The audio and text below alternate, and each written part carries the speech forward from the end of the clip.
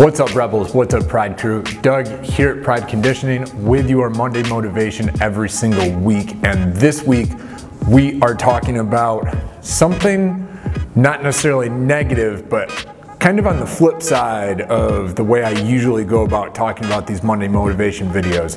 This week, we are talking about unrealistic goals and staying away from them. Ready? Here we go.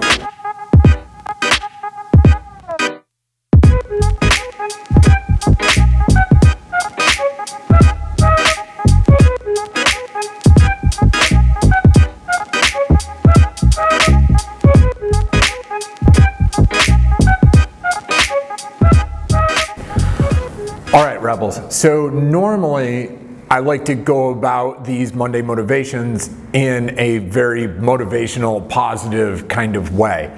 And it, usually I see something over the past week or the weekend or today that kind of sparks me talking to you guys about, you know, being positive, believing in yourself, setting goals, making plans, and following through, staying dedicated to that plan.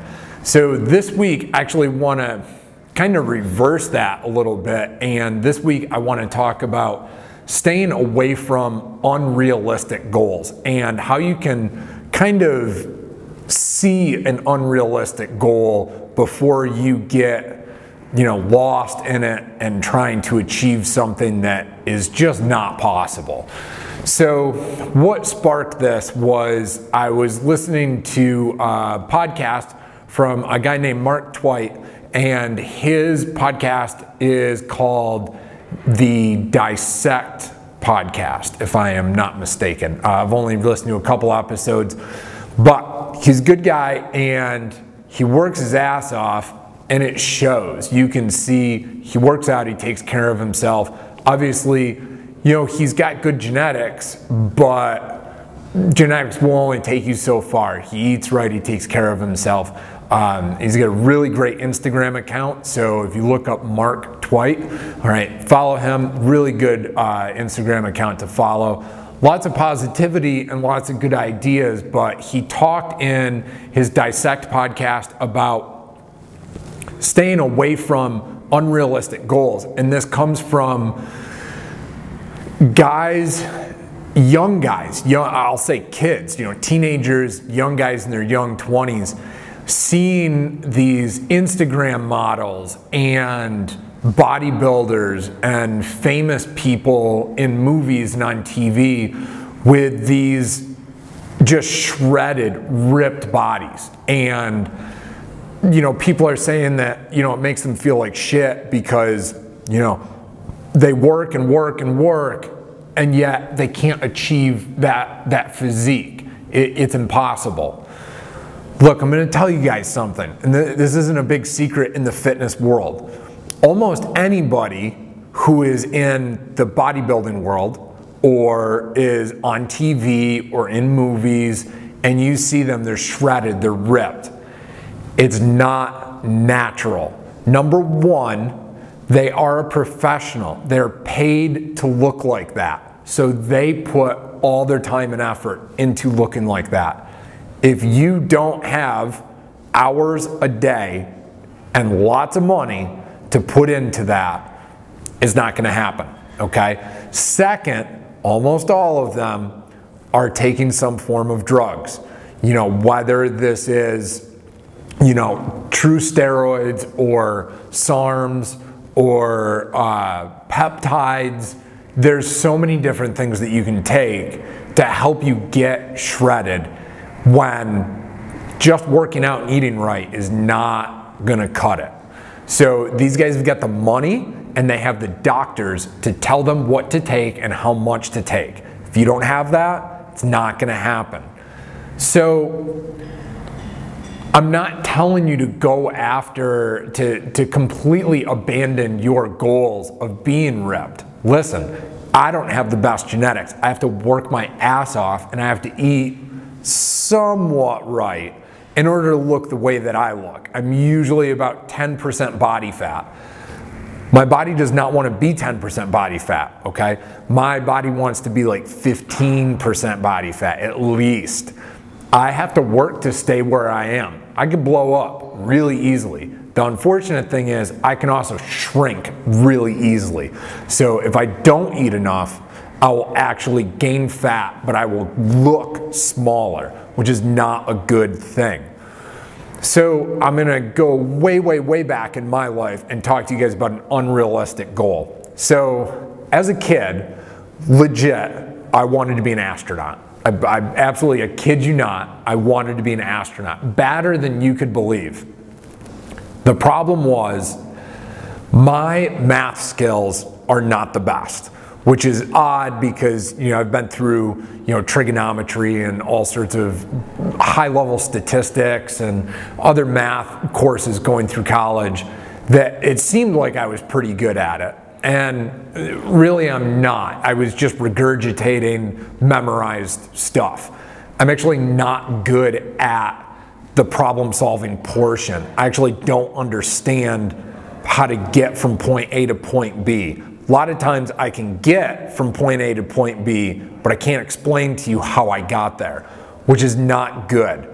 So my engineering skills were not the best, but what lacked the most was my science and chemistry skills. There was no way I was ever going to pass chemistry. I mean, not even, no way possible.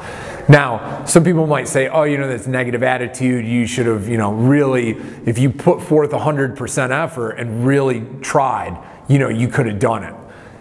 I don't know if, if that's true or not. So I've decided to not pursue that dream.